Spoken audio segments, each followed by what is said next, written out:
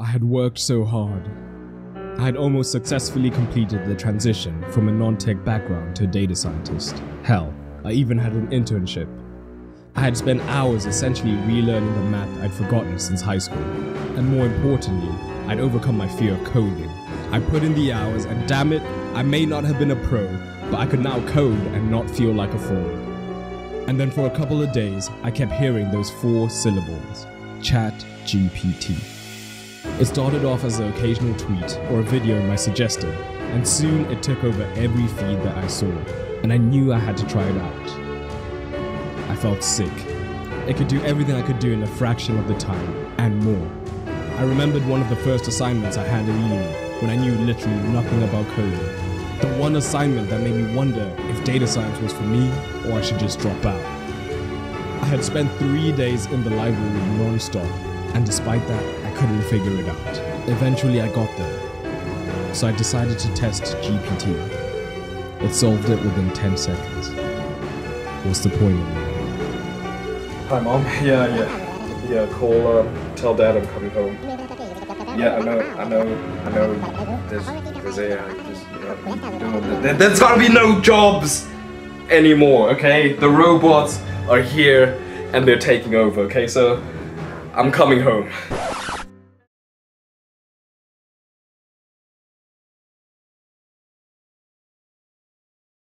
Okay, so let me set you at ease. If you're like me, you might be a bit of a warrior. So that was my reaction, pure fear when I first saw ChatGPT. And it didn't help that every single thumbnail about GPT on YouTube was like, the robots are gonna steal your jobs. So after I got past that phase, I've actually been using ChatGPT in my everyday life as a data scientist, and I can honestly say it is a tool, and all it's done is just increase my productivity so much. I mean, it's great for debugging code, and that's the obvious use. It's basically a tailor made Stack Overflow if you have any errors. But whenever I'm assigned any work at my job, at first, before GPT came out and I was just starting in data science, I would get assigned a piece of work, and in my head, I would have so many different potential approaches I could take. I could do that, but is that correct? No, I could do that. No, but I could do this instead. So I would literally have paralysis analysis and just waste like the first few hours after I'm assigned, just panicking and researching every single method on what I could possibly do. But now with GPT, I can just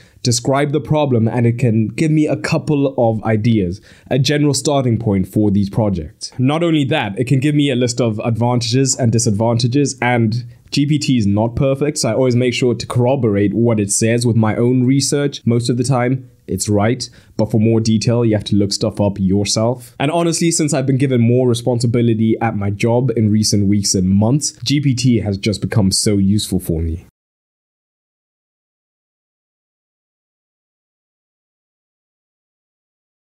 Okay, so point number two don't think you can use GPT as your coding monkey, where you just give it a prompt, leave it to code, and you walk away and never have to learn a lick of coding in your life. I know it seems like you can do that, but that's probably not a good idea because I'm not gonna lie, it might be hard to believe, but sometimes GPT can give you things which are just plain wrong. And if you don't know how to code and examine where GPT went wrong exactly, you'll just be sat there in your chair like, uh, I told it what to do, I copy pasted it into Python and it's not working.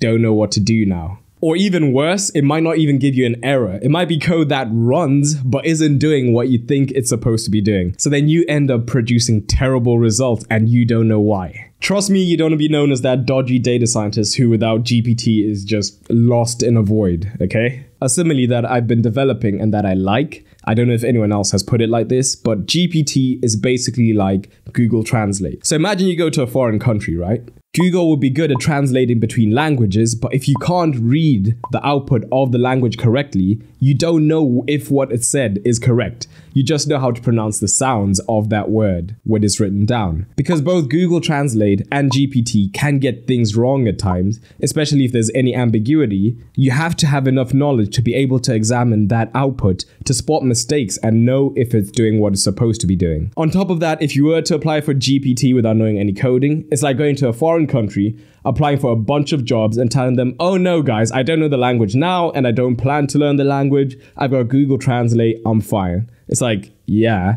you can do a lot with Translate, but there'll always be intricacies that you'll miss out by not knowing the language. And also, everything you do will take so much longer because you have to keep translating, get things wrong, and that sort of thing. And interpreting the output from Translate, or ChatGPT in this case, will also just take so much longer. So, right now, I will say that employers will probably prefer somebody who's a fluent coder just because it will make the whole workflow, especially when you're working with different teams, just so much easier.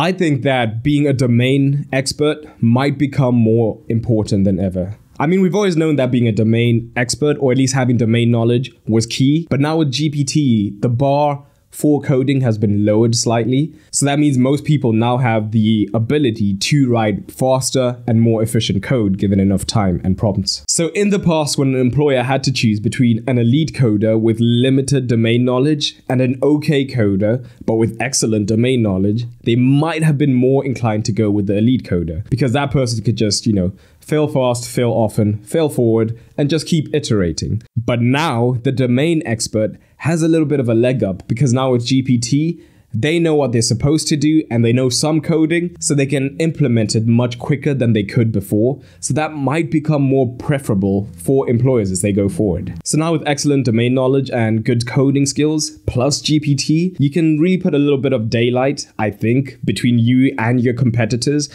as you go forward. And that's thanks to GPT helping your coding skills. Because you already know what moves the needle forward in your industry. So now you just need to implement. So basically, we now need to have more arrows in our quiver than just knowing how to code. And we just have to keep finding ways to set ourselves apart.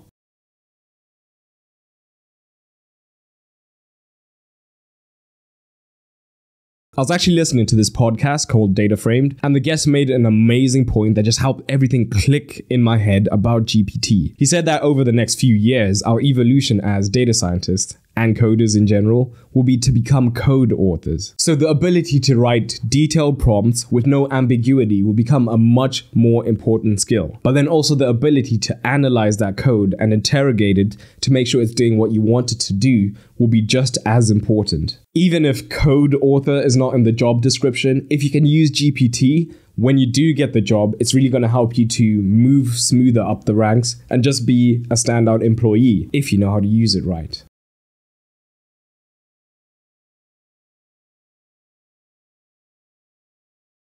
As data scientists, I think we always knew that our job would be ever changing. I mean, if you thought that data science in 2030 would look the same as it did in 2020, you might have been a little bit naive, but here's the beauty. We now literally have the world's best teacher with GPT. So, all we have to do is ensure that we keep upskilling, and GPT can help us to do this to stay up to date with what we need to know in the industry and also what our competitors know and how we can keep elevating ourselves. So basically, it's up to us to take advantage of this amazing opportunity and decide what knowledge we're going to acquire with it. If you want a detailed walkthrough of how I use GPT every day as a data scientist, click the card.